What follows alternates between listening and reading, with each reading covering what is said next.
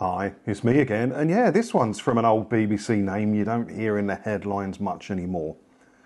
But she might make a fair point, but I don't know why she's using this specific word in it. Look at the headline here, look.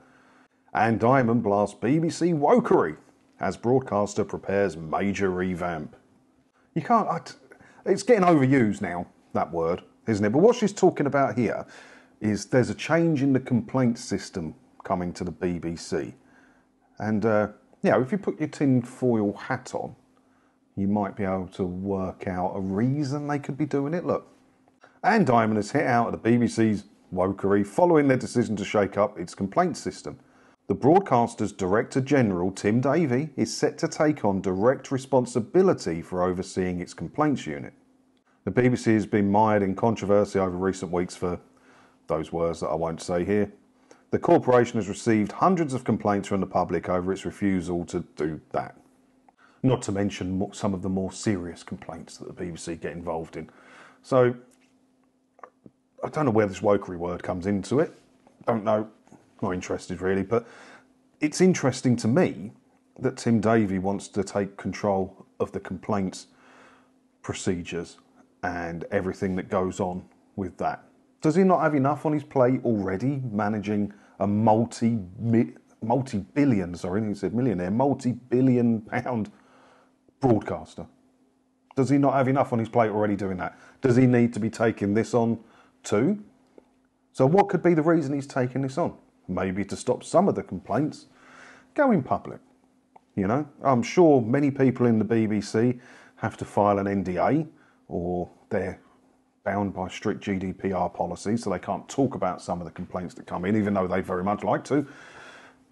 Now, the boss of the BBC is taking responsibility for the complaints. In other words, he'll know what's going on and whether to make it public or not, or what to action on that complaint. I think I would prefer to see it a bit more independently handled the complaints at the BBC because let's face it, they've had some quite serious situations go on in the past. Do you want the boss at the top of that organisation to be responsible for dealing with that? Or would it be better to have a completely independent body? Seeing as how it's a publicly funded public broadcaster in the UK, shouldn't the complaints be handled externally? It's easy to knock the BBC, but I remember the days when it was regarded worldwide as the finest purveyor of news.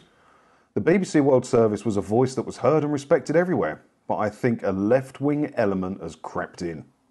And that was said by uh, David Hamilton, whoever David Hamilton is. But David Hamilton makes a fair point nonetheless. I remember those days. I, I grew up in the days when did we, we got we got analog Sky I don't know, mid 90s, something like that. I was in my teens. I remember that if something happened in the world and you wanted to know the truth about it, I was brought up to believe bang the BBC on because you will find out what's going on in the world unbiasedly and truthfully. Does anyone actually think like that now? If a big event happens in the world, is BBC News the first thing you're gonna you're gonna go to? I don't know. And the BBC World Service, I think, is completely pointless. I think it's completely pointless. It's just a propaganda engine. It costs the BBC 300 million quid a year, which is their financial deficit of their 3.7 billion a year that they get. For what? To put out pro- government propaganda. Why can't the government do that themselves on the internet? I don't understand it. I don't understand it at all. So there's a lot of change. There's a, the BBC are changing a lot of stuff, but they're not changing the right stuff, are they?